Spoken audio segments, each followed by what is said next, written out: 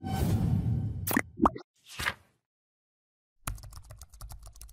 friends, in this quick tutorial I'm gonna be walking through how to cut picture into 4 pieces. But before getting started this video make sure to subscribe how to 1 minute.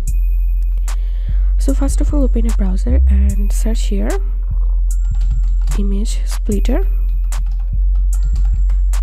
And now open this first website and now click on upload image. Click here and select your image. Set the columns to and rows to. And now you can adjust the photo.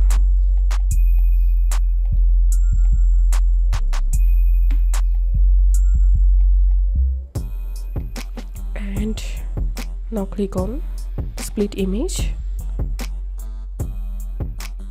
Download image. And here you can see my photo is started to download. And now I'm going to extract the downloaded file.